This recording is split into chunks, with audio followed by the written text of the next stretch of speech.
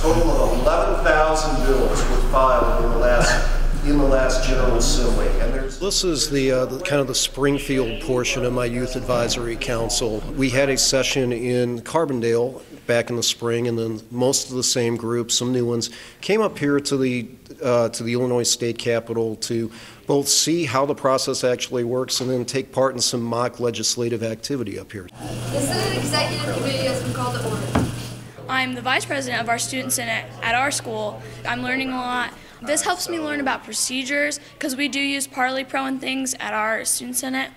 But um, it's really cool because I've been thinking more lately about going into politics and it's cool to like even if you don't know for sure just coming and learning about it so you can be like maybe that's something I could look into more. I just really enjoy getting like the deeper look at everything because you don't really know and like I'm in a, like an Illinois history class right, right now like Illinois government and all that stuff and like I can learn it in the class, but it, it, doesn't really click in your head on how it works until you get to come here and see it firsthand. So it's really interesting.